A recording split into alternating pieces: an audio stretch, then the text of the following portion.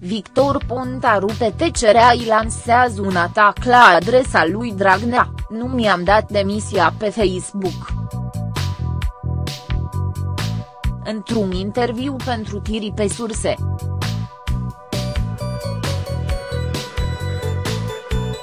Ro, fostul premier Victor Ponta face dezvluiri senzaționale despre înțelegerile pe care pe care le-a avut cu actualul efal PSD, Liviu Dragnea.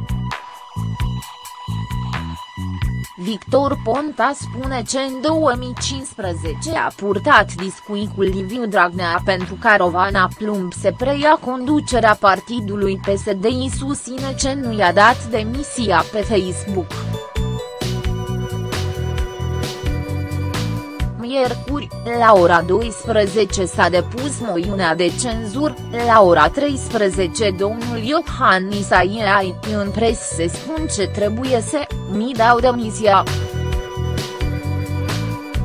M-am dus la domnul Iohannis și am zis, cred că grei foarte tare, pentru ce acest dosar este o înscenare cât timp nu avei mai multe date.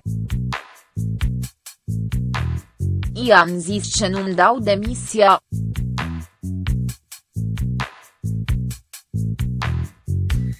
Sunte, m-am întâlnit cu Liviu Dragnea, cu Tericianu, cu Gabi Oprea și Daniel Constantin i-au zis, domne, nu cedme. Ne ducem la moiune de cenzură.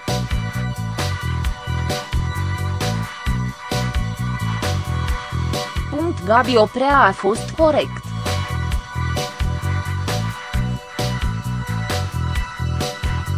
Nu m-a teredat.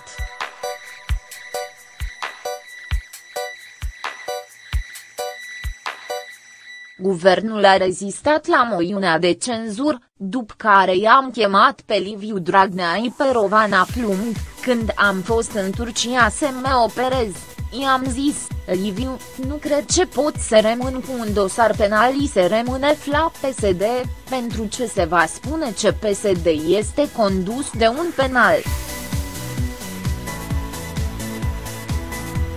I-am zis ce vreau să plec.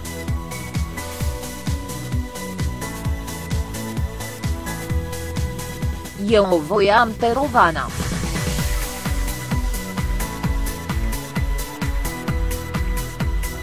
I-am zis lui Liviu, e cea mai bun, e femeie, nu are niciun dosar, ce zici? Da, dar nu-mi place de Rovana, hai să ne mai gândim când te întorci din Turcia. Când m-a întors din Turcia, minciuna ce mi-am dat demisia pe Facebook, nu mi-am dat demisia pe Facebook. I-am trimis Rovanei.